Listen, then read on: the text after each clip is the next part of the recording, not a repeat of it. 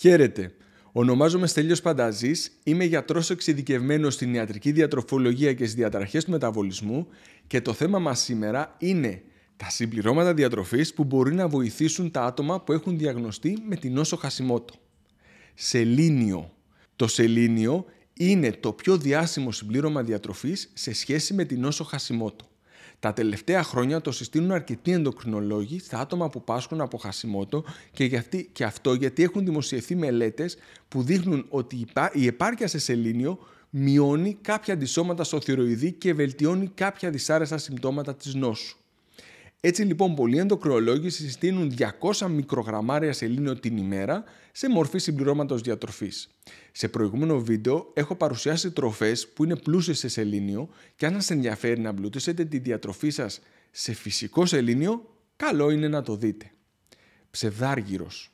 Ο ψευδάργυρος είναι ένα ακόμα στοιχείο που η επάρκειά του ωφελεί το θηροειδή και τα τελευταία, και τα τελευταία λίγα χρόνια το ακούω μερικές φορές να συστήνεται από συναδέλφους ενδοκρινολόγους. Αυτό γιατί έχει φανεί σε μελέτες ότι 30 mg ψευδαργύρου την ημέρα βελτιώνουν τη λειτουργία του θηροειδή σε άτομα που πάσχουν από υποθυροειδισμό.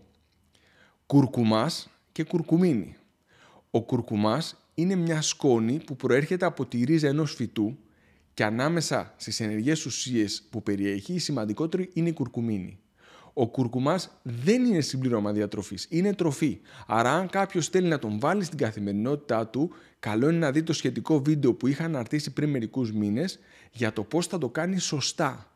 Εάν πάσχετε από την νόσο Χασιμότο, μια πάθηση που οδηγείται από φλεγμονή στο θηροειδή, είναι καλό να βάλετε τον κουρκουμά και την κουρκουμίνη στη ζωή σας. Η κουρκουμίνη έχει φανεί σε μελέτες ότι προστατεύει τον θηροειδή γιατί περιέχει ισχυρές αντιοξυδοτικές και αντιφλεγμονώδες ουσίες. Γενικά ο κουρκουμάς και η κουρκουμίνη είναι η νούμερο ένα σύσταση που κάνω σε άτομα που πάσουν από αυτοάνωσα νοσήματα στα δύο κέντρα ιατρικής διατροφολογίας που ηγούμε. Για την ποσότητα του κουρκουμά και της κουρκουμίνης που πρέπει να καταναλώνετε στα αυτοάνωσα, σας συστήνω να δείτε το αναλυτικό βίντεο που έχω δημοσιεύσει που λέει πώς και σε ποια ποσότητα να βάλετε τον κουρκουμά στη ζωή σας. Βιταμίνη D. Η βιταμίνη D είναι η σημαντικότερη βιταμίνη για τα αυτοάνωσα. Κάθε άνθρωπος που πάσχει από οποιοδήποτε αυτοάνωσο, όπως η νόσος χασιμότος, πρέπει να μετράει συστηματικά τα επίπεδα της βιταμίνης D στο αίμα του και να εξασφαλίζει να βρίσκονται μέσα στα φυσιολογικά. Ιδανικά θα πρέπει να βρίσκονται τουλάχιστον στη μέση του φυσιολογικού εύρους, που δηλώνει το εργαστήριο στο οποίο κάνει την εξέταση. Αν όχι και λίγο ψηλότερα. Οι μελέτες έχουν δείξει ότι τα άτομα που πάσχουν από χασιμότο συχνά έχουν χαμηλότερη βιταμίνη D από το γενικό πληθυσμό. Επίσης, σε άλλες μελέτες έχει φανεί ότι τα άτομα με χασιμότο όταν έχουν και χαμηλή βιταμίνη D έχουν χειρότερα συμπτώματα.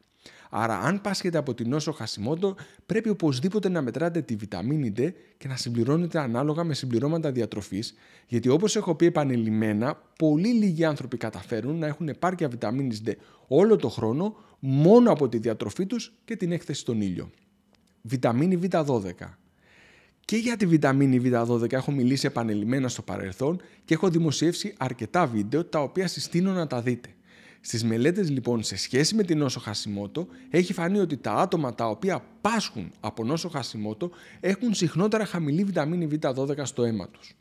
Χωρίς αυτό να σημαίνει υποχρεωτικά ότι η προστίκη βιταμίνης Β12 θα βελτιώσει τα συμπτώματα, καλό είναι να μετράτε τη βιταμίνη Β12 στο αίμα και ανάλογα το αποτέλεσμα να δείτε αν είναι αναγκαίο να παίρνετε συμπληρώματα ή να αυξήσετε τη βιταμίνη Β12 στη διατροφή σας.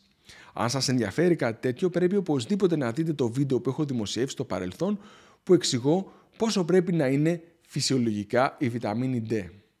Μαγνήσιο. Οι μελέτες που έχουν γίνει έχουν δείξει ότι τα άτομα που έχουν χαμηλό μαγνήσιο στο σώμα τους εμφανίζουν περισσότερα αντισώματα ενάντια στον θηροειδή και αυξημένο κίνδυνο εμφάνισης της νόσου Χασιμότο. Επίσης, κάποιες μελέτες έχουν δείξει ότι αυξάνοντας την πρόσληψη μαγνησίου μειώνονται τα συμπτώματα της νόσου Χασιμότο. Το μαγνήσιο υπάρχει στη χλωροφύλλη και γι' αυτό θα το βρείτε σε αυθονία στις φυτικές τροφές με πράσινο χρώμα. Όμως γενικά οι μη επεξεργασμένες φυτικές τροφές έχουν πολύ μαγνήσιο όπως τα φρούτα, τα λαχανικά, τα όσπρια και ο φλοιός των δημητριακών. Άλλα συμπληρώματα.